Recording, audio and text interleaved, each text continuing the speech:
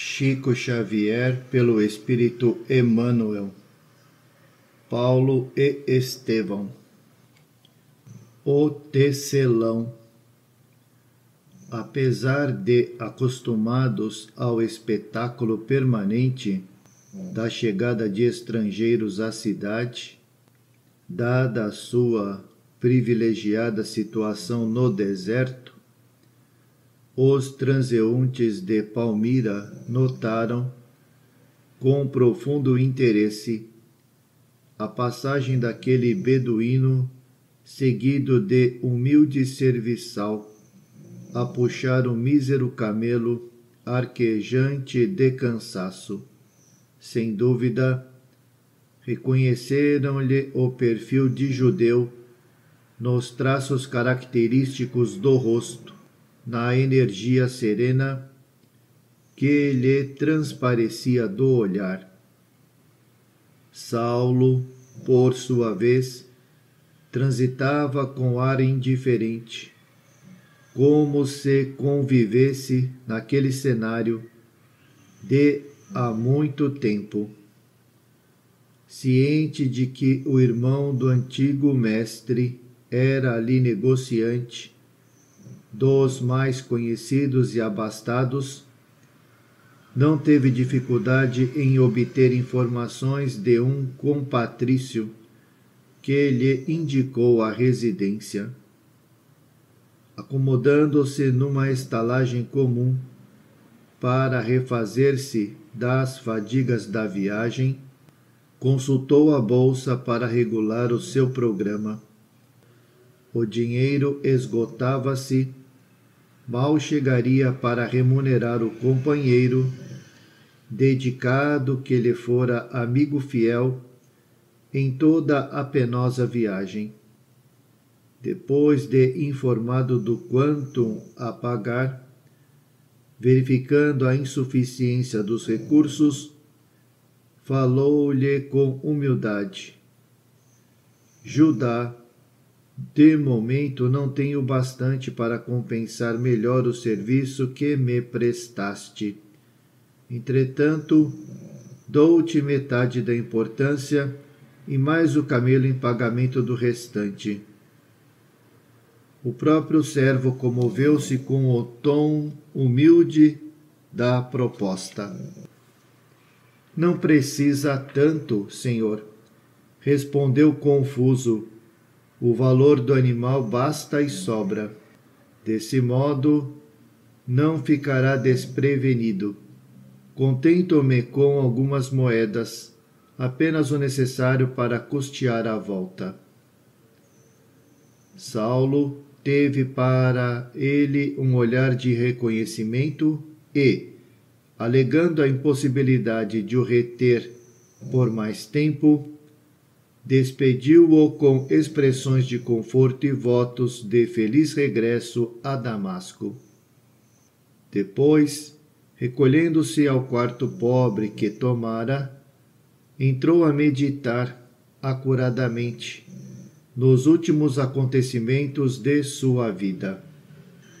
Estava só, sem parentes, sem amigos, sem dinheiro pouco antes daquela resolução de partir no encalço de Ananias, não vacilaria em decretar a morte de quem profetizasse o futuro que o esperava.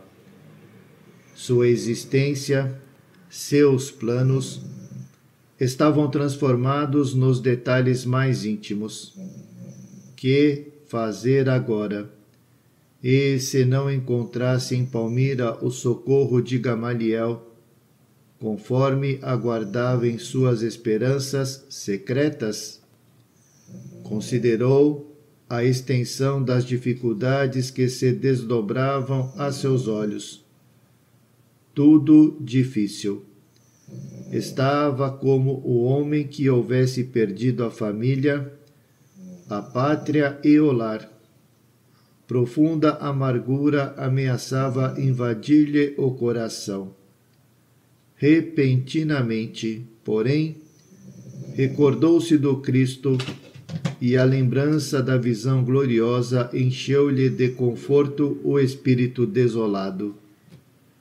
Confiando muito mais naquele que lhe estendera as mãos do que em suas próprias forças, procurou acalmar os sobressaltos íntimos, dando repouso ao corpo fatigado. No dia seguinte, manhã alta, saiu à rua preocupado e ansioso. Obedecendo aos informes recolhidos, parou à porta de confortável edifício, à frente do qual funcionavam grandes lojas comerciais. Procurando Ezequias, foi logo atendido por um homem idoso, de semblante risonho e respeitável que o saudou com muita simpatia. Tratava-se do irmão de Gamaliel, que, logo se familiarizando com o patrício recém-chegado de longe, proporcionou-lhe confortadora palestra, buscando informar-se delicadamente a respeito do venerável rabino de Jerusalém. Saulo obtinha de Ezequias os esclarecimentos necessários, tomado de profundo interesse. Meu irmão, dizia ele preocupado, desde que chegou a Palmira, pareceu-me muito diferente. É possível que a mudança de Jerusalém tenha influído para essa profunda transformação. A diferença de ambiente social a alteração de hábitos, o clima, a ausência dos trabalhos usuais, tudo isso pode ter-lhe prejudicado a saúde. Como assim? Perguntou o moço sem dissimular a estranheza. Passa dias e dias numa cabana abandonada que possuo, à sombra de algumas tamareiras num dos muitos oásis que nos rodeiam. E isso veja tão só para ler e meditar um manuscrito sem importância que não consegui compreender. Além disso, parece-me completamente desinteressado de nossas práticas religiosas, vive como que alheio ao mundo fala em visões do céu. Refere-se constantemente a um carpinteiro que se transformou em Messias do povo e alimentava-se de coisas imaginárias, de sonhos irreais. Às vezes, é com profundo pesar que lhe observo a decadência mental.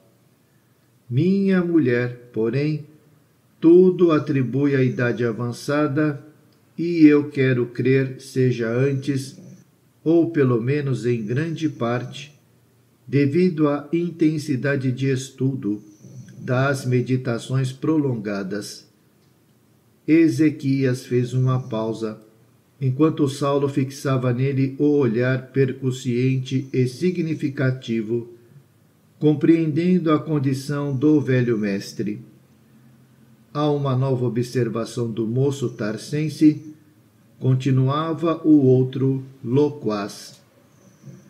No seio de minha família, Gamaliel é tratado como se fora o nosso pai. Aliás, devo meu início de vida às suas imensas dedicações fraternais. Por isso mesmo, eu e minha mulher combinamos com os filhinhos relativamente à atmosfera de paz que deverá cercar aqui o prezado e nobre enfermo. Quando ele discorre sobre as ilusões religiosas que o empolgam, no seu desequilíbrio mental, ninguém nesta casa o contradiz. Já sabemos que não fala mais por si. A mentalidade poderosa esmaeceu. A estrela se apagou Considerando essas penosas circunstâncias, ainda rendo graças a Deus que mo trouxe aqui para terminar seus dias, aquecido pelo nosso afeto familiar e indene do escárnio de que talvez pudesse ser objeto em Jerusalém, onde nem todos estão à altura de lhe compreender e honrar o passado ilustre. Mas a cidade sempre venerou nele um mestre inesquecível. Ajuntou o rapaz como se quisesse defender seus próprios sentimentos de amizade e admiração. Sim, esclareceu o negociante convicto. Um homem do seu nível intelectual estaria preparado a entender tudo, mas os outros. O Senhor não ignora, naturalmente, a perseguição implacável movida pelas autoridades do Sinédrio e do Templo contra os simpatizantes do famoso carpinteiro Nazareno. Palmira teve notícias dos fatos por intermédio de inúmeros patrícios pobres que deixaram Jerusalém à pressa, ameaçados de prisão e morte. Ora, foi justamente com a personalidade desse homem que Gamaliel deu as primeiras demonstrações de fraqueza mental. Se estivesse por lá, que seria da sua velhice desamparada?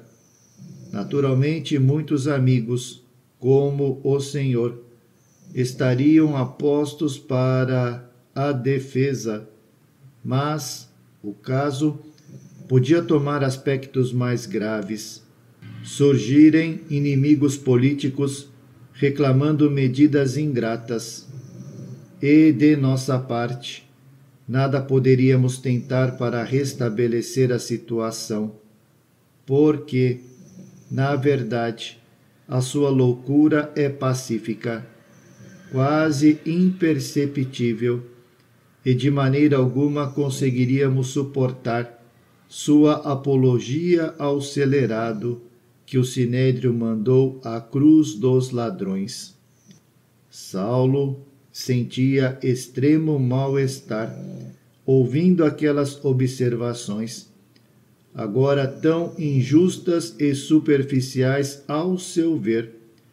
Compreendia a delicadeza do momento e a natureza dos recursos psicológicos a empregar para não se comprometer, agravando ainda mais a posição do mestre ilustre desejando imprimir novo rumo à conversa, perguntou com serenidade: E os médicos, qual a opinião dos entendidos? No último exame a que se submeteu, por insistência nossa, descobriram que o estimado doente, além de perturbado, padece de singular astenia orgânica que lhe vai consumindo as últimas forças vitais. Saulo fez ainda algumas observações, contristado, e, depois de reconsiderar as primeiras impressões relativamente à amável hospitalidade de Ezequias, auxiliado por um pequeno servo da casa, demandou o local onde o antigo mentor o recebeu com surpresa e alegria. O ex-discípulo notou que Gamaliel, com efeito, apresentava sintomas de profundo abatimento. Foi com infinito júbilo que o apertou afetuosamente nos braços, osculando-lhe amoroso as mãos encarquilhadas e trêmulas. Seus cabelos pareciam mais brancos, a epiderme sulcada de rugas veneráveis dava impressão do alabastro, uma palidez indefinível. falaram longamente das saudades, dos sucessos de Jerusalém, dos amigos distantes. Depois dos preâmbulos afetuosos, o moço tarcense relatou ao mestre venerando as graças recolhidas às portas de Damasco. A voz de Saulo tinha a inflexão vibrante da paixão e da sinceridade que costumava imprimir às emoções próprias. O velhinho ouviu-lhe a narrativa com indizível espanto. Nos olhos vivos e serenos rorejavam lágrimas de emoção que não chegavam a cair. Aquela prova enchia-o de profundo consolo. Não havia aceitado em vão aquele Cristo sábio e amoroso, incompreendido dos colegas. Ao término da exposição, Saulo de Tarso tinha o olhar velado em pranto o bondoso ancião abraçou-o comovidamente, atraindo-o ao coração. Saulo, meu filho, disse exultante, bem sabia que me não enganava a respeito do Salvador, que tão profundamente me falou a velhice exausta, através da luz espiritual do seu evangelho de redenção. Jesus dignou-se estender as mãos amorosas ao teu espírito dedicado. A visão de Damasco bastará para a consagração de tua existência inteira ao amor do Messias. É verdade que muito trabalhaste pela lei de Moisés sem hesitar na adoção de medidas extremas na sua defesa. Entretanto, é chegado o momento de trabalhares por quem é maior que Moisés. Sinto-me, porém, grandemente desorientado e confundido, murmurou o jovem de Tarso, cheio de confiança. Desde a ocorrência noto que estou, sendo objeto de singulares e radicais transformações, obediente ao meu feitio absolutamente sincero, quis começar meu esforço pelo Cristo em Damasco e, no entanto, recebi dos nossos amigos dali as maiores manifestações de desprezo e ridículo, que muito me fizeram sofrer. Repentinamente, vi-me sem companheiros, sem ninguém. Alguns componentes da reunião do caminho consolaram minha alma abatida com as suas expressões de fraternidade. Mas não foram bastantes para ressarcir as amargas desilusões experimentadas. O próprio Sadoc, que na infância foi pupilo de meu pai, cobriu-me de recriminações e zombarias. Desejei voltar a Jerusalém, mas através do quadro da sinagoga de Damasco compreendi o que me esperava em grande escala, junto às autoridades do Sinédrio e do Templo. Naturalmente, a profissão de rabino não me poderá interessar o espírito sincero, porque, de outro modo, seria mentir a mim mesmo. Sem trabalho, sem dinheiro, acho-me num labirinto de questões insolúveis, sem o auxílio de um coração mais experiente que o meu. Resolvi, então, demandar o deserto e procurar-vos para o socorro necessário. E, concluindo a rogativa com os olhos súplices, revelando as ansiedades tormentosas que lhe povoavam a alma, exclamou: Mestre amado, sempre enxergastes as soluções do bem, onde minha imperfeição não devassava senão sombras amargurosas. Amparai meu coração, mergulhado em dolorosos pesadelos. Preciso servir aquele que se dignou arrancar-me das trevas do mal. Não posso dispensar vosso auxílio neste transe difícil da minha vida. Essas palavras eram ditas com inflexão profundamente comovedora.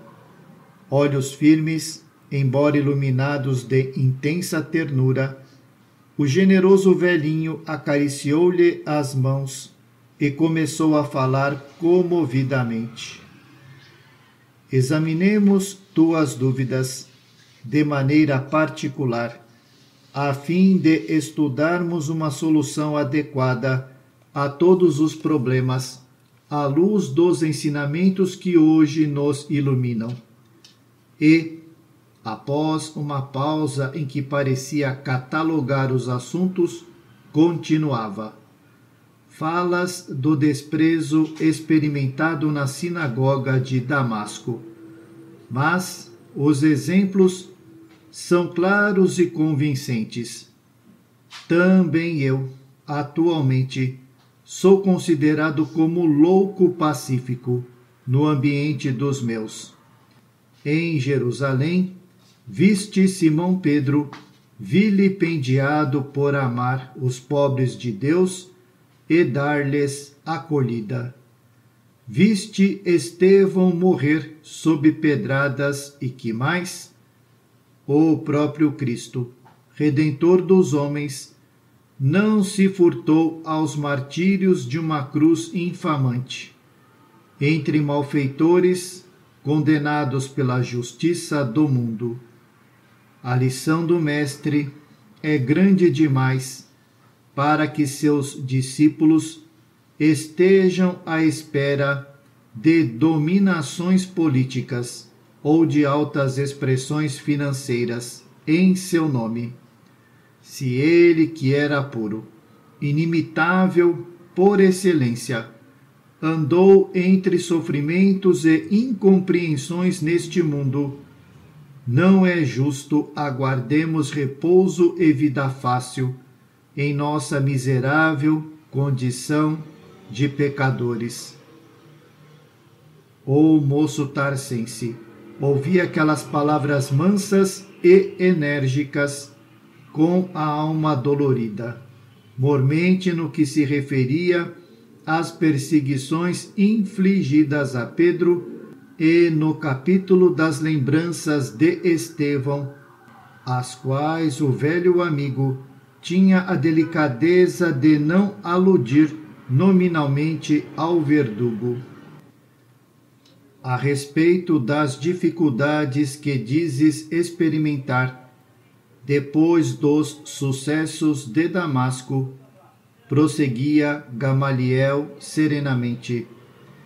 Nada mais justo e natural a meus olhos experimentados nos problemas do mundo nossos avós, antes de receber um maná do céu, atravessaram tempos sombrios de miséria, escravidão e sofrimento. Sem as angústias do deserto, Moisés jamais encontraria na rocha estéril a fonte de água viva. E talvez ainda não tenhas meditado melhor nas revelações da terra prometida. Que região seria essa, se guardando a compreensão mais vasta de Deus, descobrimos em todos os pontos do mundo mananciais de sua proteção? Há tamareiras frondosas e amigas, medrando nos areais ardentes. Essas árvores generosas não transformam o próprio deserto em caminhos abençoados, cheios do pão divino para matar nossa fome? Nas minhas reflexões solitárias, cheguei à conclusão de que a terra prometida, pelas divinas revelações, é o Evangelho do Cristo Jesus. E a meditação nos sugere comparações mais profundas.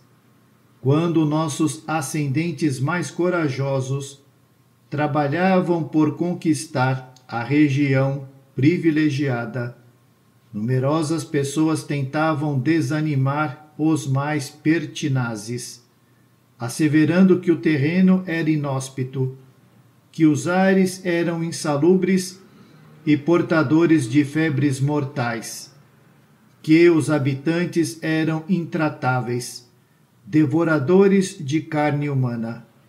Mas Josué e Caleb, num esforço heróico, penetraram a terra desconhecida venceram os primeiros obstáculos e voltaram, dizendo que dentro da região manavam leite e mel. Não temos aí um símbolo perfeito? A revelação divina deve referir-se a uma região bendita, cujo clima espiritual seja feito de paz e luz. Adaptarmos-nos ao Evangelho é descobrir outro país, cuja grandeza se perde no infinito da alma. A nosso lado permanecem aqueles que tudo fazem por nos desanimar na empresa conquistada. Acusam a lição do Cristo de criminosa e revolucionária. Enxergam no seu exemplo intuitos de desorganização e de morte. Qualificam um apóstolo, como Simão Pedro, de pescador presunçoso e ignorante. Mas pensando naquela estupenda serenidade com que Estevão entregou a alma a Deus, vi nele a figura do companheiro corajoso e digno que voltava das lições do caminho para nos afirmar que na terra do Evangelho há fontes do leite da sabedoria e do mel do amor divino. É preciso, pois, marchar sem repouso e sem contar os obstáculos da viagem. Procuremos a mansão infinita que nos seduz o coração Gamaliel fizera uma pausa em suas expressões amigas e altamente consoladoras. Saulo estava admirado. Aquelas comparações tão simples, aquelas deduções preciosas do estudo da antiga lei com relação a Jesus deixavam-no perplexo. A sabedoria do ancião renovava-lhe as forças. Alegas tua estranheza, continuou o venerando amigo, enquanto o jovem o fixava com interesse crescente. Com a mudança de profissão e a falta de dinheiro para as necessidades mais imediatas. Entretanto, Saulo, Basta meditar um pouco na realidade dos fatos para que vejas claramente. Um velho, como eu, está na situação de Moisés, contemplando a terra prometida sem poder alcançá-la. Mas, quanto a ti, é preciso convir que estás ainda muito moço. Podes multiplicar as energias com o adestramento de tuas forças e penetrar o terreno das aspirações do Salvador a nosso respeito. Para isso, é indispensável simplificar a vida, recomeçar a luta. Josué não poderia ter vencido os óbices do caminho tão só com a leitura dos textos sagrados ou com os favores de quantos o estimavam. Certamente manipulou instrumentos rudes aplainou estradas onde havia abismos, à custa de esforços sobre-humanos. E que me aconselhais neste sentido? interrogou o rapaz com profunda atenção, enquanto o velho mestre fazia longa pausa. Quero dizer que conheço teu pai, bem como sua situação de abastança. Naturalmente, nas suas expressões de afeto, não se negaria a te prestar todo o auxílio nesta emergência. Mas teu pai é humano e pode ser chamado amanhã à vida espiritual. Seu amparo, portanto, seria valioso, mas não deixaria de ser precário, se não cooperasses com teu esforço próprio na solução dos teus problemas. E vives uma fase em que todo trabalho enérgico se faz indispensável. Examinada a questão de família, vejamos tua condição profissional. Até agora foste rabino da lei, preocupado com os erros alheios, com as discussões da casuística, com a situação de evidência entre os doutores. Ganhavas dinheiro na vigilância dos outros, mas Deus te chamou à verificação de teus próprios desvios, como chamou a mim mesmo. A terra prometida desenha-se aos nossos olhos. É preciso vencer os obstáculos e marchar. Como doutor da lei, isso não mais te seria possível. Então é necessário recomeçar a tarefa como o homem que procurava inutilmente o ouro no lugar onde ele não existia. O problema é de trabalho, de esforço pessoal. O moço de Tarso demorou o olhar úmido de emoção no velho generoso e exclamou: Sim, agora compreendo. Que aprendeste na infância antes da posição conquistada? perguntou o ancião previdente. Consoante os costumes da nossa raça, meu pai mandou-me aprender ofício de tecelão, como sabeis. Não podias receber das mãos paternas dádiva mais generosa, acrescentou Gamaliel com um sorriso sereno. Teu pai foi previdente como todos os chefes de família do povo de Deus, procurando afeiçoar tuas mãos ao trabalho, antes que o cérebro se povoasse de muitas ideias. Está escrito que devemos comer o pão com o suor do rosto. O trabalho é o movimento sagrado da vida. Fazendo um intervalo, como que procurando refletir mais profundamente, o velho mentor da mocidade farisaica voltou a dizer: Foste humilde tecelão antes de conquistares os títulos honoríficos de Jerusalém. Agora que te candidatas a servir ao Messias na Jerusalém da humanidade, é bom que voltes a ser modesto tecelão. As tarefas apagadas são grandes mestras do espírito de submissão. Não te sintas humilhado, regressando ao tear que nos surge, presentemente, qual amigo generoso. Estás sem dinheiro, sem recursos materiais. À primeira vista, considerando tua situação de realce no mundo, seria justo recorrer a parentes ou amigos, mas não estás doente nem envelhecido. Tens a saúde e a força. Não será mais nobre convertê-las em elemento de socorro a ti mesmo? Todo trabalho honesto está selado com a bênção de Deus.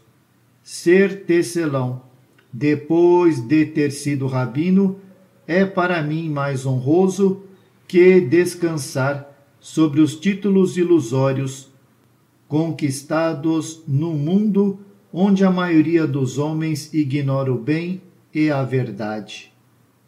Saulo compreendeu a grandeza dos conceitos e, tomando-lhe a mão, beijou-a com profundo respeito, murmurando: Não esperava de vós senão esta franqueza e esta sinceridade que iluminam meu espírito. Aprenderei de novo o caminho da vida. Encontrarei no ruído do tear os estímulos brandos e amigos do trabalho santificante. Conviverei com os mais desfavorecidos da sorte. Penetrarei mais intimamente nas suas amarguras de cada dia. Em contato com as dores alheias, hei de saber dominar meus próprios impulsos inferiores, tornando-me mais paciente e mais humano. Tomado de grande alegria, o sábio velhinho acariciou-lhe os cabelos, exclamando emocionado: Deus abençoará tuas esperanças. Longo tempo ficaram em silêncio, como desejosos de prolongar indefinidamente aquele instante glorioso de compreensão e harmonia. Foi Saulo quem, denotando no olhar as muitas preocupações íntimas, quebrou o silêncio, dizendo receoso: Pretendo retomar o ofício da primeira idade, mas estou sem dinheiro para a viagem. Se fosse possível, exerceria a profissão aqui mesmo em Palmira. Falava hesitante deixando perceber ao venerável amigo a vergonha que experimentava com o fazer-lhe essa confissão. Como não, obtemperou Gamaliel solícito. Considero que as dificuldades da volta não seriam pequenas. Entretanto, não incluo nos obstáculos dos problemas do dinheiro, porque de qualquer forma, poderíamos obtê-lo para as despesas mais urgentes. Refiro-me simplesmente aos perigos da situação que passou. Acho justo que regresses a Jerusalém ou a Tarso, plenamente integrado nos teus novos deveres. Toda planta é frágil quando começa a crescer as tricas do farisaísmo, a falsa ciência dos doutores, as vaidades familiares poderiam abafar a semente gloriosa que Jesus te lançou no coração ardente. O rebento mais promissor não se desenvolverá se o cobrirmos de detritos e lama. É bom que voltes ao berço aos nossos companheiros e à família, como árvore frondejante, honrando a dedicação do divino cultivador. Mas que fazer? tornou Saulo preocupado. O antigo mestre refletiu um instante e esclareceu. Sabes que as zonas do deserto são grandes mercados dos artigos de couro. O serviço de transportes depende inteiramente dos tecelões mais hábeis e dedicados. Assim, o compreendendo, meu irmão estabeleceu diversas tendas de trabalho no oásis, nos oásis mais distantes para atender às necessidades do seu comércio. Conversarei com Ezequias a teu respeito. Não direi que se trata de um grande chefe de Jerusalém, que pretende exilar-se por algum tempo. Não pelo receio de envergonhar teu nome ou tua origem, mas por julgar útil que proves a humildade e a solidão no teu novo caminho. As considerações convencionais poderiam perturbar-te agora que necessitas exterminar o homem velho a golpes de sacrifício e disciplina. Compreendo e obedeço em meu próprio benefício, murmurou Saulo com atenção. Aliás, Jesus exemplificou tudo isso, permanecendo em nosso meio sem que o percebêssemos.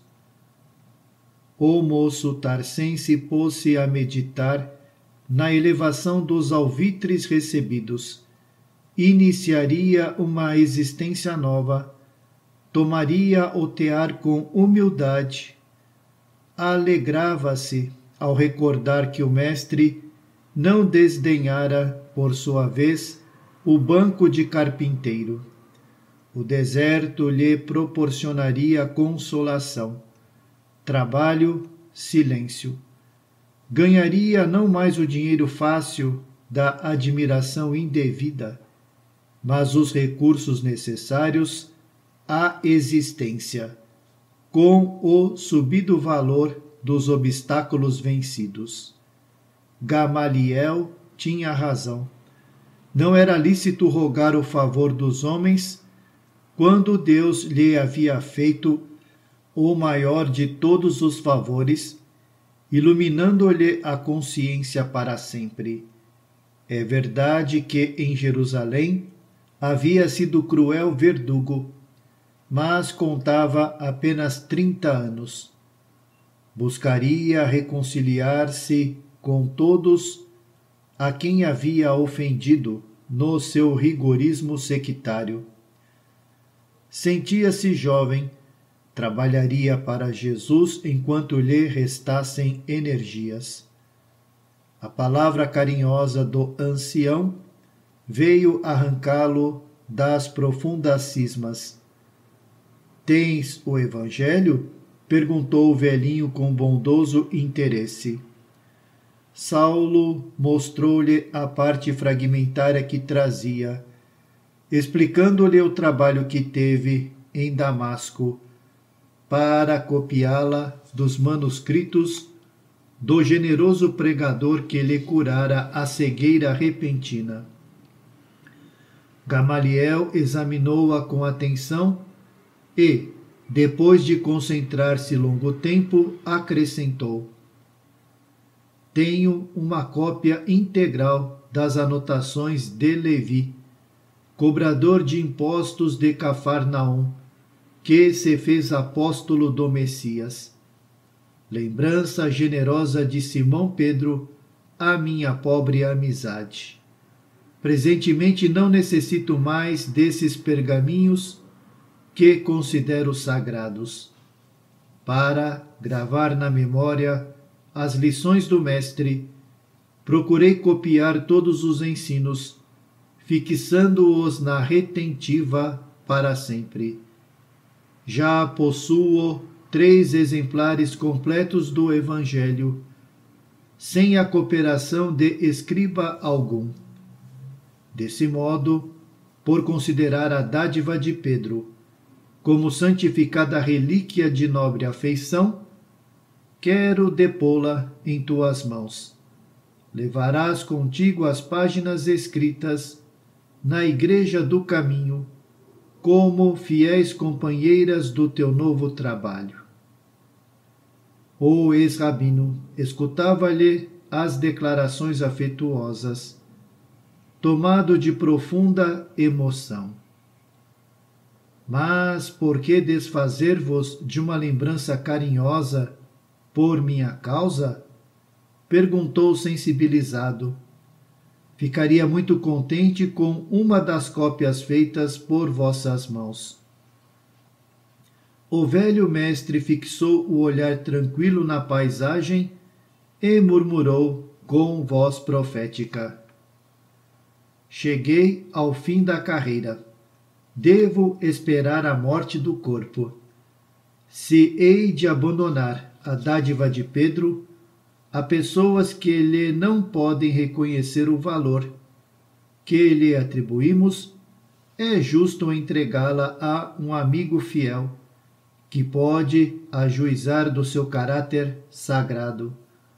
Além disso, tenho a convicção de que não mais poderei voltar a Jerusalém, neste mundo.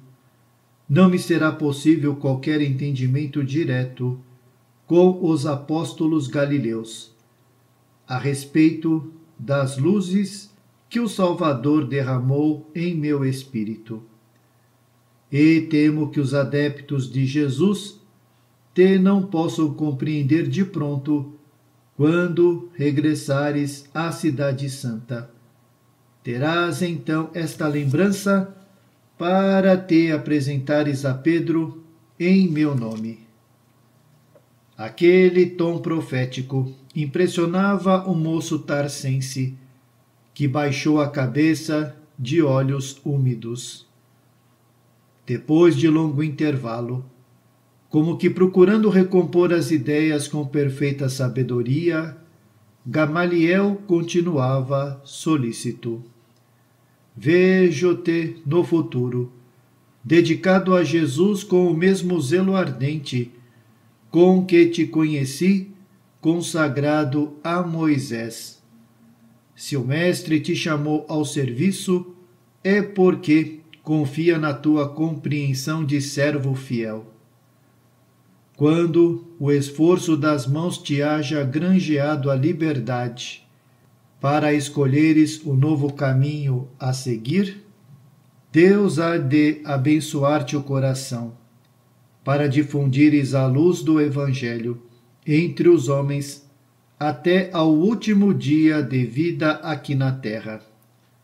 Nesse labor, meu filho, se topares incompreensão e luta em Jerusalém, não desesperes nem esmoreças. Semeaste por lá certa confusão nos espíritos é justo recolhas os resultados. Em toda tarefa, porém, lembra-te do Cristo e passa adiante com o teu esforço sincero. Não te perturbem as desconfianças, a calúnia e a má fé, atento a que Jesus venceu galhardamente tudo isso. Saulo sentia profundo descanso naquela exortação amorosa, terna, leal. Ouvindo-a, deixou-se ficar longo tempo entre lágrimas ardentes que testemunhavam o arrependimento do passado e as esperanças do futuro. Naquela tarde, Gamaliel deixou a rústica choupana, dirigindo-se com o ex-discípulo à casa do irmão, que, acolheu. Desde então, o jovem tarcense sob o seu teto, com indisfarçável contentamento.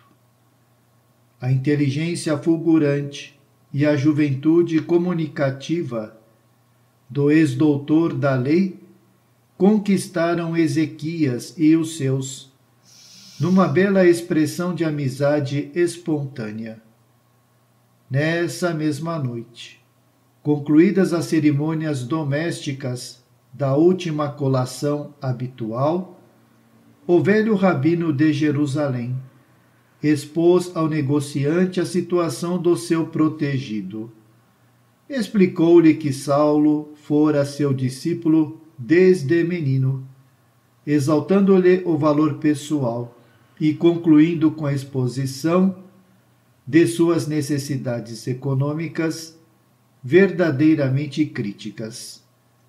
E diante do próprio interessado, que acentuava sua admiração por aquele velhinho sábio e generoso, esclareceu que ele tensionava trabalhar como tecelão nas tendas do deserto, rogando a Ezequias auxiliasse com sua bondade tão nobres aspirações de trabalho e esforço próprios.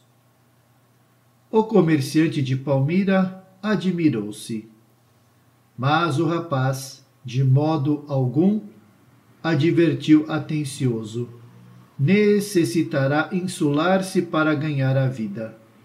Tenho meios de localizá-lo aqui mesmo, na cidade, onde ficará em contato permanente conosco. Entretanto, preferiria vosso amparo generoso lá no deserto, acentuou Saulo em tom significativo.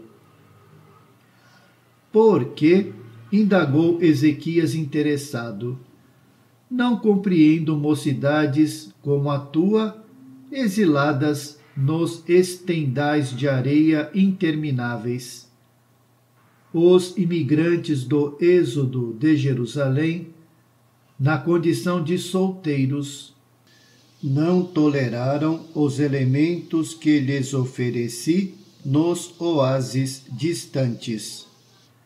Apenas alguns casais aceitaram as propostas e partiram. Quanto a ti, com os teus dotes intelectuais, não compreendo como preferes ser tecelão humilde segregado de todos. Gamaliel compreendeu que a estranheza do irmão poderia levá-lo a suposições errôneas acerca do jovem amigo. E, antes que alguma suspeita injusta se lhe esboçasse ao espírito indagador, ponderou com prudência.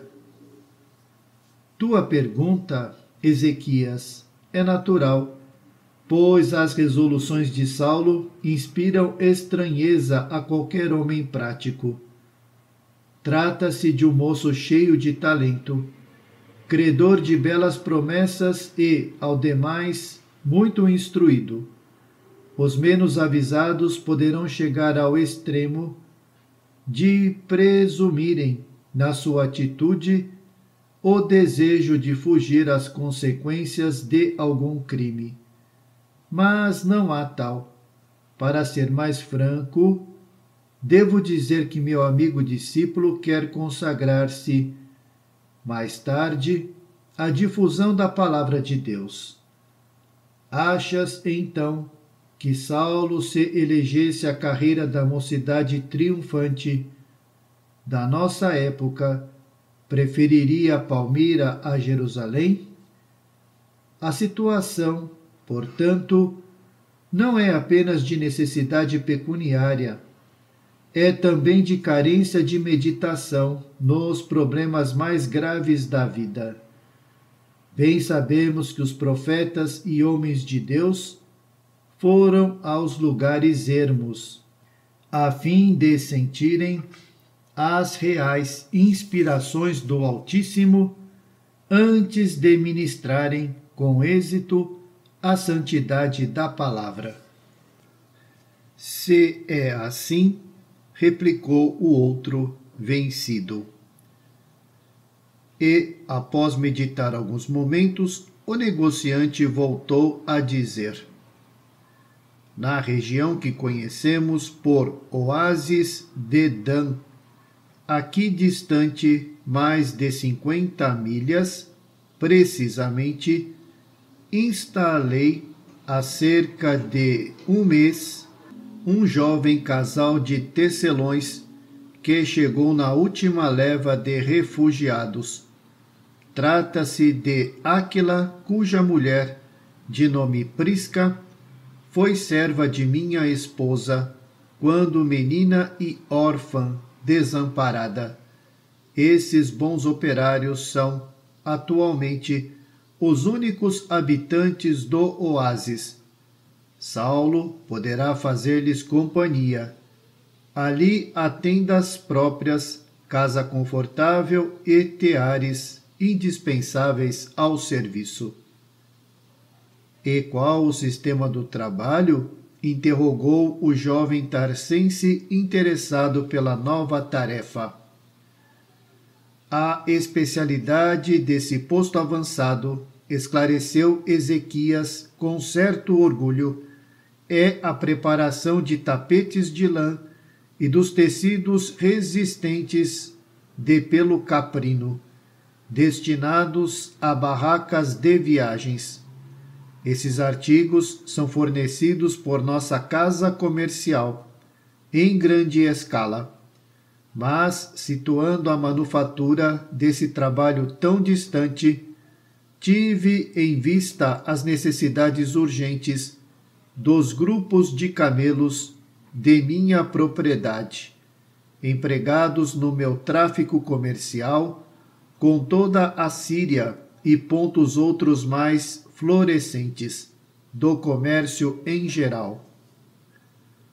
Tudo farei por corresponder à vossa confiança, confirmou o ex-rabino confortado.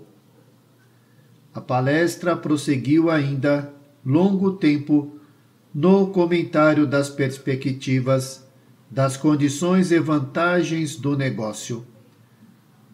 Daí a três dias, Saulo despedia-se do mestre, debaixo de profunda comoção. Figurava-se-lhe que aquele abraço afetuoso era o último e, até que os camelos da caravana largassem em direção da imensa planície, o jovem envolveu o venerando ancião nas vibrações cariciosas do angustioso adeus.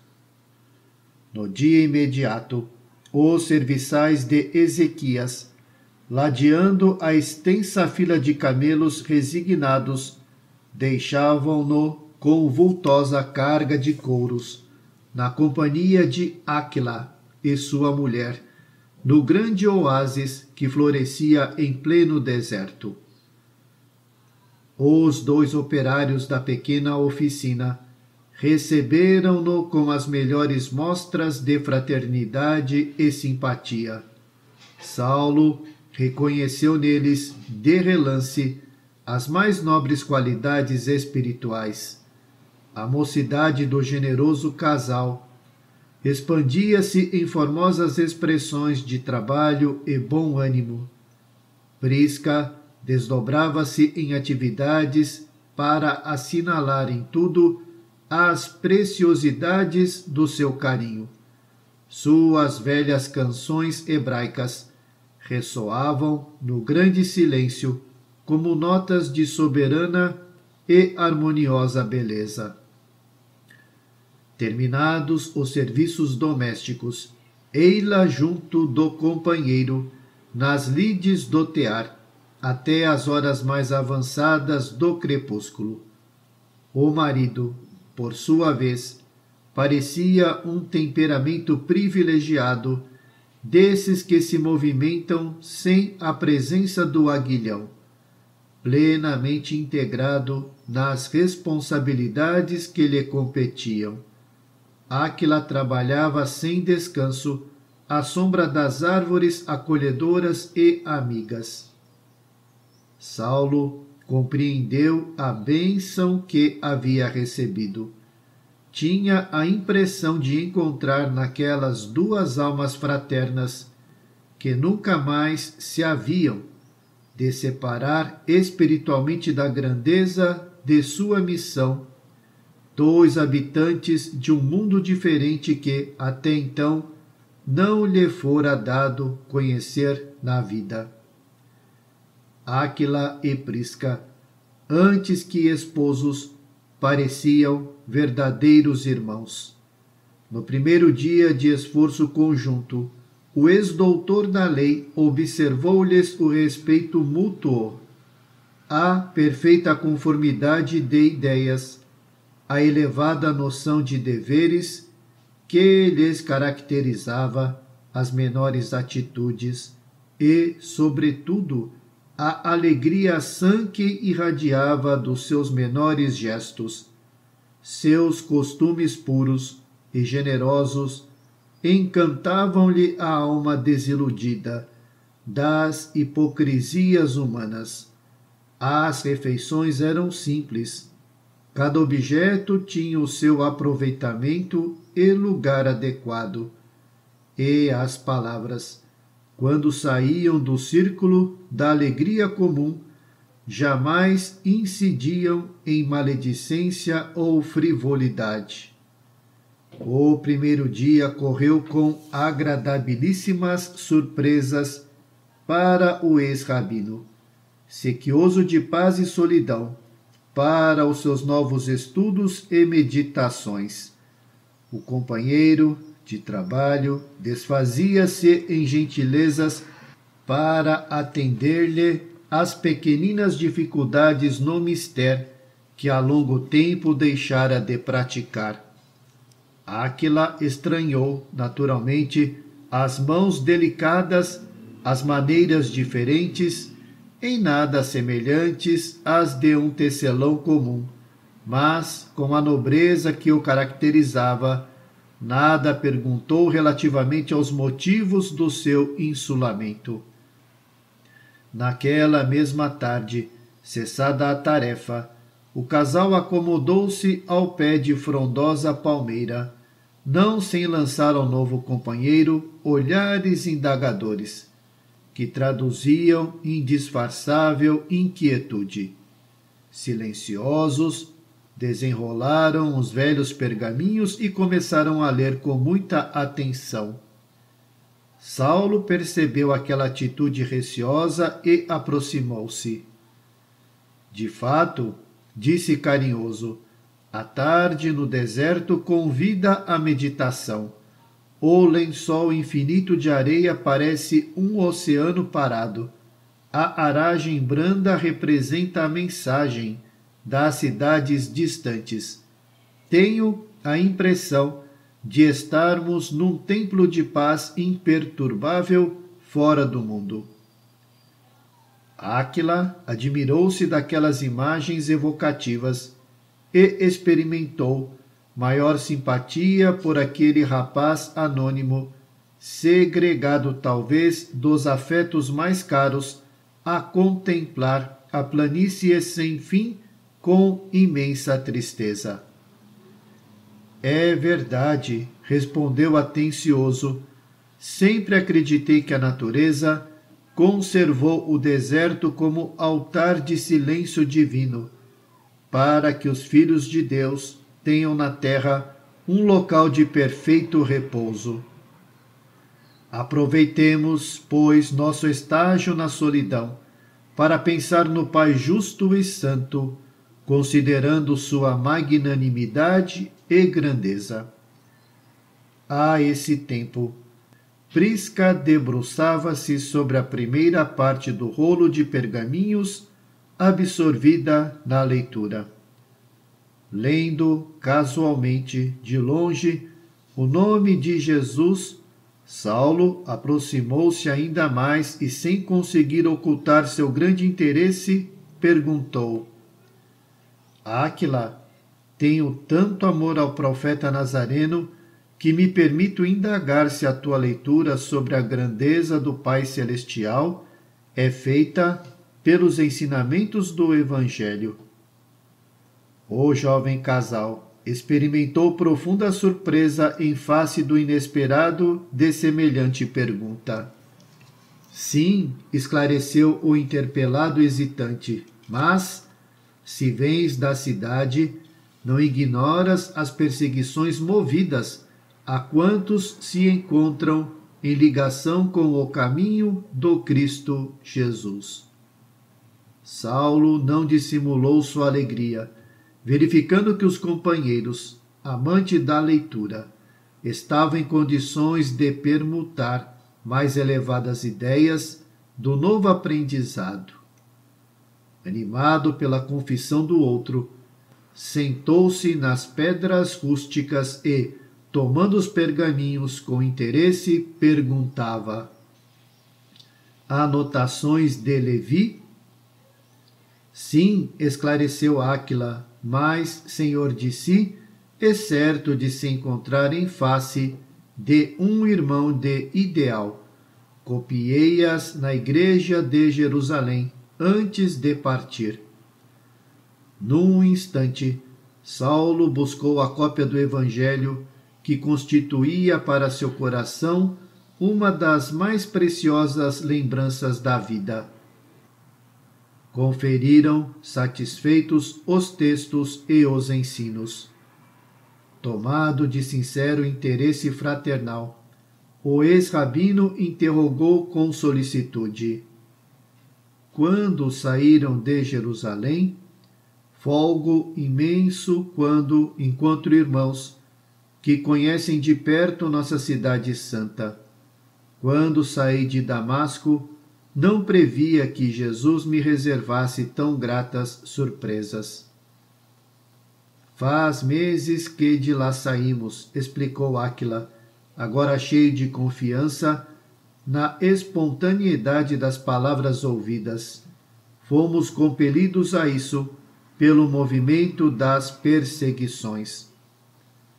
Aquela referência brusca e indireta ao seu passado perturbava o jovem tarcense no mais recôndito do coração.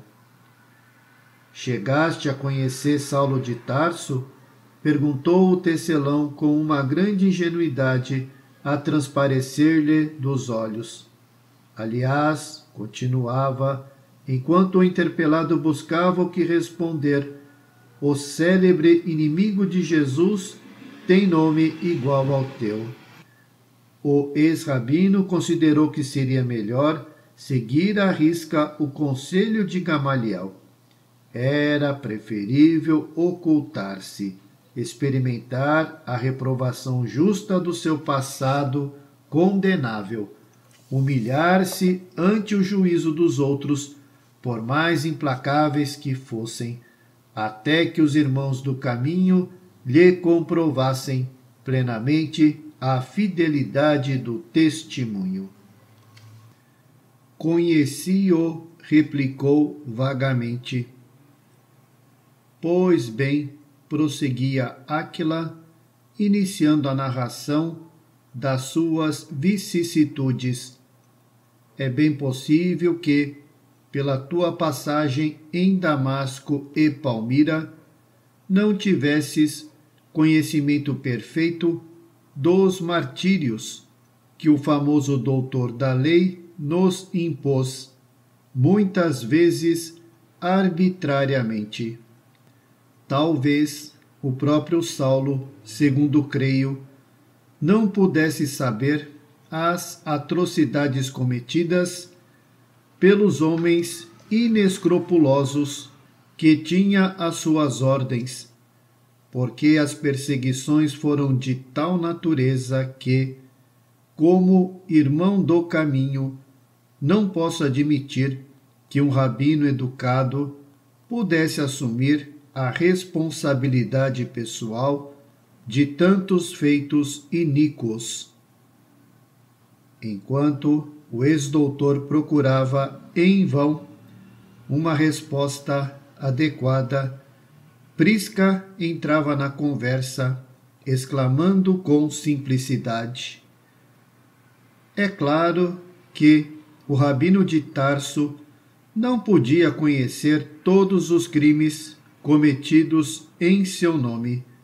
O próprio Simão Pedro, na véspera de partirmos ocultamente à noite, nos afirmou que ninguém devia odiá-lo porque, não obstante o papel que representou na morte de Estevão, era impossível fosse o mandante de tantas medidas odiosas e perversas. Saulo compreendia agora que ouvia os mais humildes a extensão da campanha criminosa que desencadeara dando ensanchas a tantos abusos de subalternos e apaniguados. Mas, perguntou admirado, sofreste tanto assim? Foste condenado a alguma pena? Não foram poucos os que sofreram vexames iguais aos que experimentei, murmurou Áquila explicando-se, dado o condenável procedimento de uns tantos energúmenos fanáticos, escolhidos como auxiliares prestimosos do movimento. Como assim? inquiriu Saulo, sumamente interessado. Dar-te-ei um exemplo. Imagina que um patrício de nome Joshai várias vezes interpelou meu pai relativamente à possibilidade da compra de uma padaria em Jerusalém. Eu cuidava de minha tenda, meu velho genitor de seus serviços. Vivíamos felizes e, considerando nossa paz, apesar das investidas do ambicioso. Meu pai jamais pensou em alienar a fonte dos seus recursos. Joshai, entretanto, logo no início das perseguições, logrou posição de realce. Em tais feitos, os caracteres mesquinhos sempre levam a palma. Bastou-lhe desse um pouco de autoridade, e o invejoso logo expandiu seus criminosos desejos. É verdade que eu e Prisca fomos os primeiros a frequentar a Igreja do Caminho, não só por afinidade de sentimento, como por dever a Simão Pedro a cura de antigos males que me vinham da infância. Meu pai, no entanto, apesar da simpatia pelo Salvador, sempre alegava estar bastante idoso para mudar de ideias religiosas. Aferrado à lei de Moisés, não podia compreender uma renovação geral de princípios em matéria de fé. Isso, todavia, não invalidou os instintos perversos do ambicioso. Certo dia, Joshai nos bateu à porta acompanhado de escolta armada, com ordem de prisão para os três. Era inútil resistir. O doutor de Tarso lançara um edito em que toda resistência significava a morte Lá nos fomos à prisão. Em vão meu pai jurou fidelidade à lei. Depois do interrogatório, eu e Prisca recebemos ordem de regressar à casa, mas o velho foi encarcerado sem compaixão. Os bens modestos foram-lhe imediatamente confiscados. Depois de muitas providências de nossa parte, conseguimos voltar-se ele à nossa companhia e o valoroso velhinho, cujo único arrimo era a minha dedicação filial, na sua senectude e viuvez, expirou em nossos braços no dia imediato ao livramento por nós ansiosamente esperado. Quando nos reveio, parecia um fantasma. Guardas caridosos trouxeram-no quase agonizante. Ainda lhe pude ver os ossos quebrados, as feridas abertas, a epiderme lanhada de açoites. Em palavras titubeantes, descreveu as cenas lamentáveis do cárcere. O próprio Joshai rodeado de sequazes, foi o autor dos últimos suplícios. Não podendo resistir aos sofrimentos, entregou a alma a Deus. Áquila estava profundamente comovido. Furtiva lágrima viera associar-se às penosas recordações. E a autoridade do movimento Perguntou Saulo, emocionado ao extremo: estaria alheia a esse crime? Creio que sim. A crueldade foi demasiada para que se lhe atribuísse tão só a punição por motivos religiosos. Mas não te valeste de alguma petição de justiça? Quem se atreveria a fazê-lo?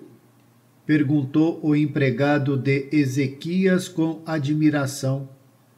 Tenho amigos que chegaram a recorrer, mas pagaram com castigos mais violentos o desejo de justiça. O ex-rabino compreendeu a justeza dos conceitos. Somente agora tinha bastante largueza de vistas espirituais para avaliar a velha cegueira que lhe negrejara a alma. Aquila tinha razão. Muitas vezes fora surdo às rogativas mais comovedoras. Invariavelmente mantinha as decisões mais absurdas dos seus prepostos inconscientes. Recordava-se do próprio Joshai, que lhe parecia tão prestimoso nos dias de ignorância. E que pensas de Saulo? perguntou bruscamente. Longe de saber com quem permutava as ideias mais íntimas, Aquila respondeu sem titubear. O Evangelho manda considerá-lo irmão extremamente necessitado da luz de Jesus Cristo. Nunca ouvi, mas, temendo as iniquidades praticadas em Jerusalém, aqui vim parar em fuga precipitada e tenho orado a Deus por ele, esperando que um raio do céu o esclareça, não tanto por mim, que nada valho, mas por causa de Pedro, que considero um segundo pai muito querido. Acredito que se operariam maravilhas se a Igreja do Caminho pudesse trabalhar livremente.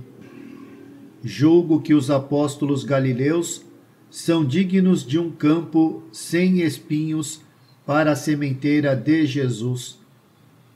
Dirigindo-se à esposa, enquanto o moço de Tarso silenciava, o tecelão exclamava com interesse: Lembras-te, Prisca, como se exorava pelo perseguidor nas preces íntimas da Igreja? Muitas vezes, para esclarecer nosso espírito fraco no perdão, Pedro nos ensinava a considerar o implacável rabino como a um irmão que as violências obscureciam, para que nossos ressentimentos mais vivos se desfizessem. Historiava o seu passado, dizendo que também ele, por ignorância, chegara a negar o Mestre mais de uma vez. Salientava nossas fraquezas humanas, induzia-nos a melhor compreensão Certo dia chegou a declarar que toda a perseguição de Saulo era útil, porque nos levava a pensar em nossas próprias misérias, a fim de estarmos vigilantes nas responsabilidades com Jesus. O ex-discípulo de Gamaliel tinha os olhos úmidos. Sem dúvida, o famoso pescador de Cafarnaum é um dos grandes irmãos dos infelizes, murmurou convictamente. A palestra desviou-se para outros comentários depois da intervenção de Prisca nas derradeiras notas do assunto, revelando conhecer muitas mulheres de Jerusalém que, tendo marido e filhos encarcerados, pediam sinceramente a Jesus pela iluminação do célebre perseguidor do caminho. Em seguida falaram do Evangelho. O manto de estrelas cobriu suas grandiosas esperanças, enquanto Saulo bebia a longos haustos a água pura da amizade sincera naquele novo mundo tão reduzido Nessas palestras carinhosas e fraternais, os dias se foram passando rápidos. De quando em quando chegavam de Palmira reforços de abastecimentos e outros recursos. Os três habitantes do oásis silencioso entrelaçavam aspirações e pensamentos em torno do Evangelho de Jesus, o único livro de suas meditações naquelas paragens tão remotas. O ex-rabino modificara o próprio aspecto ao contato direto das forças agressivas da natureza. A epiderme queimada pelo sol dava a impressão de um homem acostumado à inclemência do deserto. A barba crescida transformara-lhe o semblante. As mãos afeitas ao trato dos livros tornaram-se calosas e rudes. Entretanto, a solidão as disciplinas austeras, o tear laborioso, lhe haviam enriquecido a alma de luz e serenidade. Os olhos calmos e profundos atestavam os novos valores do espírito. Entendera, finalmente, aquela paz desconhecida que Jesus desejara aos discípulos. Sabia agora interpretar a dedicação de Pedro, a tranquilidade de Estevão no instante da morte ignominiosa, o fervor de Abigail, as virtudes morais dos frequentadores do caminho que perseguira em Jerusalém. A alta educação, na ausência dos recursos da época, ensinara-lhe a alma ansiosa o segredo sublime de se entregar ao Cristo, para repousar em seus braços misericordiosos e invisíveis. Desde que se consagrara ao Mestre, de alma e coração, os remorsos, as dores, as dificuldades como que se afastaram do seu espírito recebia todo o trabalho como um bem, toda necessidade como elemento de ensino. Sem esforço, afeiçoou-se a Áquila e sua mulher, como se houvessem nascidos juntos. Certa vez o companheiro adoeceu e esteve à morte, prostrado por violenta febre. A situação dolorosa a multiplicação das tempestades de areia abateram igualmente o ânimo de Prisca, que se recolheu ao leito com poucas esperanças de vida.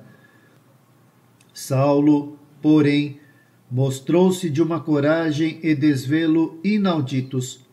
Tomado de sincera confiança em Deus, esperou a restauração da calma e da alegria. Jubiloso, viu o regresso de Áquila ao tear e a volta da companheira aos labores domésticos, cheios de novas expressões de paz e confiança.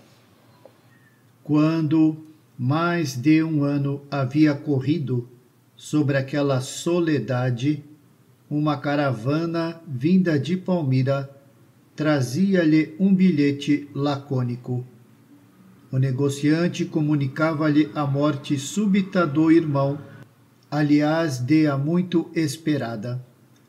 A partida de Gamaliel para os reinos da morte não deixou de ser uma dolorosa surpresa. O velho mestre, depois do pai, foi o maior amigo que encontrou na vida. Meditou seus últimos conselhos ponderou-lhe a profunda sabedoria. Ao seu influxo, conseguira a paz desejada para ajustar-se à situação espiritual necessária, de maneira a reorganizar a existência. Nesse dia, pensamentos de profunda saudade martirizaram-lhe a alma sensível. À tarde, após a refeição e na hora das meditações costumeiras, o ex-rabino contemplou o casal com ternura maior a transparecer dos olhos francos. Cada qual se engolfava na meditação do Evangelho divino, quando o moço tarcense falou com certa timidez, em desacordo com seus gestos resolutos. Aquila, muita vez, na solidão do nosso trabalho, tenho pensado na enormidade do mal que te causou o doutor de Tarso. Que farias se um dia te visses repentinamente em face do verdugo? Procuraria estimar nele um irmão. E tu, Prisca? perguntou a mulher que eu fixava curiosa seria ótima ocasião para testemunhar o amor que Jesus exemplificou em suas lições divinas. O ex-doutor da lei recobrou a serenidade e, alteando a voz, exclamou convictamente: Sempre considerei que um homem, chamado a administrar, responde por todos os erros de seus prepostos no que toca ao plano geral dos serviços.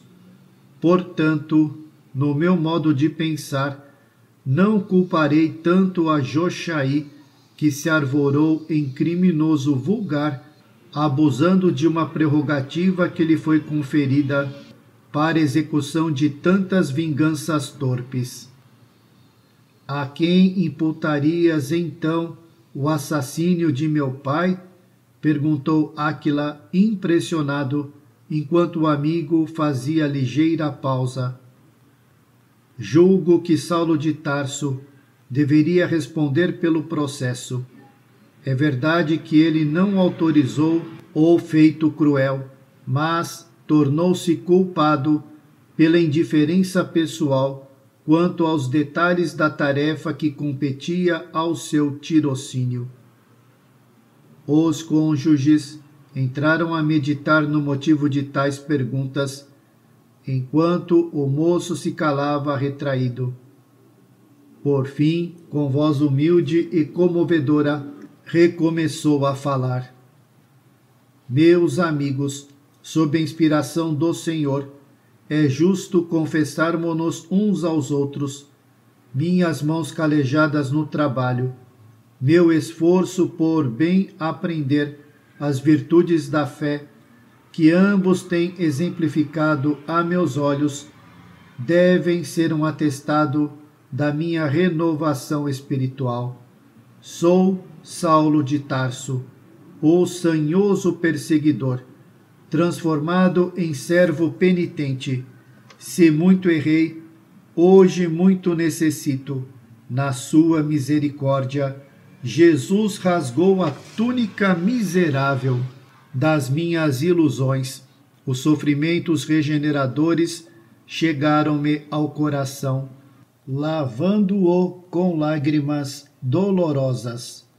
Perdi tudo o que significava honrarias e valores do mundo, por tomar a cruz salvadora e seguir o Mestre na trilha da redenção espiritual.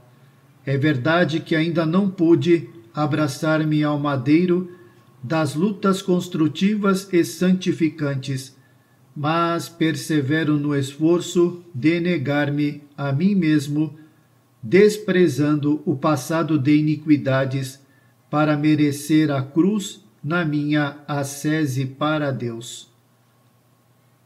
Áquila e a mulher contemplavam-no com assombro.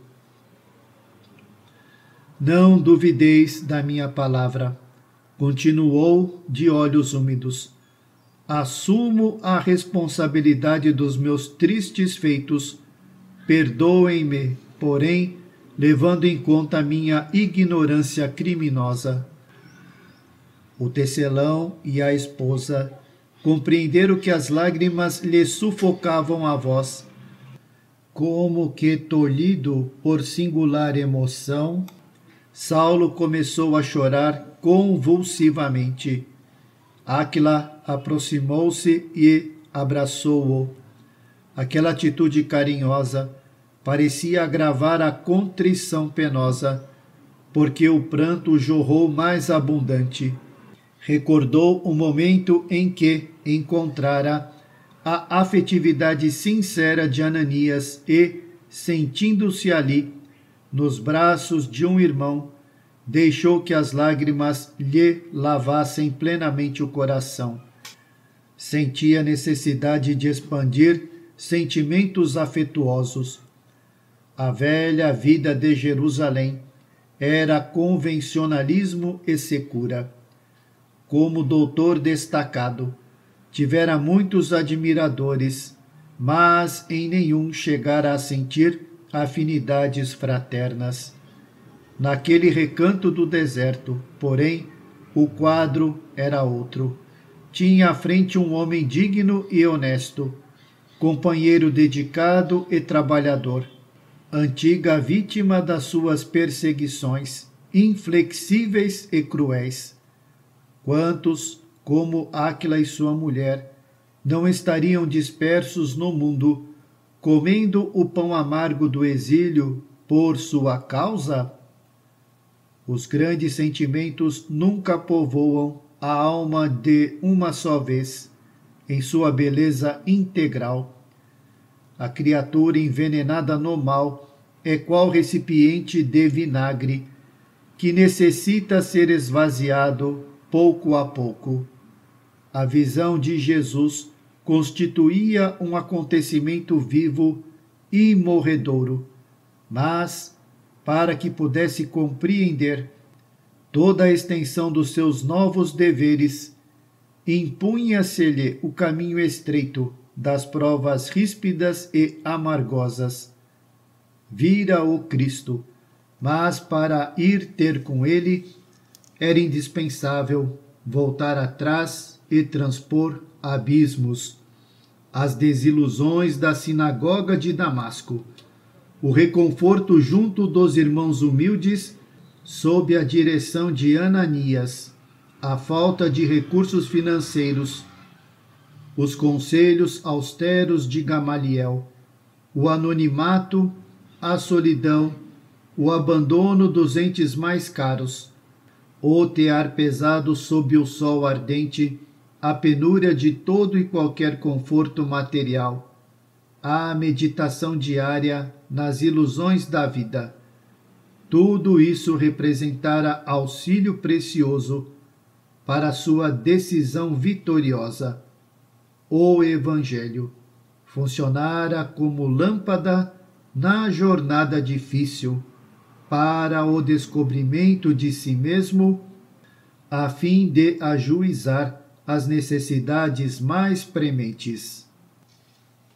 Abraçando-se estreitamente ao amigo, que buscava enxugar-lhe as lágrimas, recordava-se de que, em Damasco, após a grande visão do Messias, talvez ainda guardasse no íntimo o orgulho de saber ensinar, o amor à cátedra de mestre em Israel, a tendência despótica de obrigar o semelhante a pensar com ele ao passo que agora podia examinar o passado culposo e sentir o júbilo da reconciliação, dirigindo-se com humildade à sua vítima. Naquele instante, teve a impressão de que Áquila representava a comunidade de todos os ofendidos por seus desmandos cruéis. Serenidade branda enchia-lhe o coração. Sentia-se mais distanciado do orgulho, do amor próprio, das ideias amargas, dos remorsos terríveis.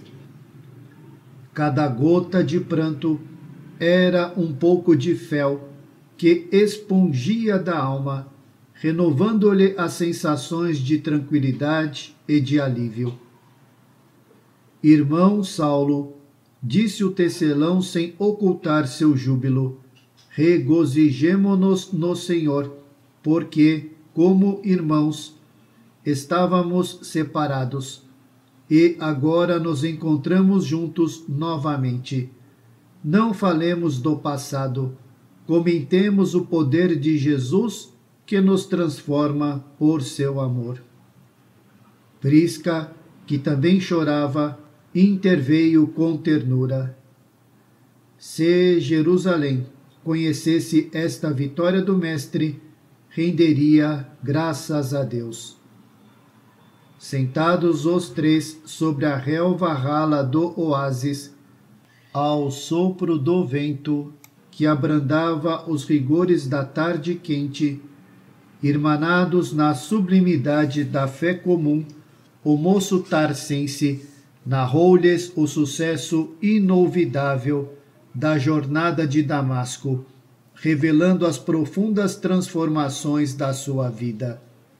O casal chorou de emoção e alegria ouvindo o feito da misericórdia de Jesus, que a seus olhos piedosos não representava apenas um gesto de carinho ao servo desviado, mas uma bênção de amor para a humanidade inteira. Daí por diante, a tarefa lhes parecia mais leve, as dificuldades menos penosas. Nunca mais passou um crepúsculo sem que comentassem a dádiva gloriosa do Cristo às portas de Damasco. Agora que o Mestre nos reuniu, exclamava Aquila satisfeito, saiamos do deserto, proclamemos os favores de Jesus pelo mundo inteiro. Eu e Prisca não temos muitas obrigações de família.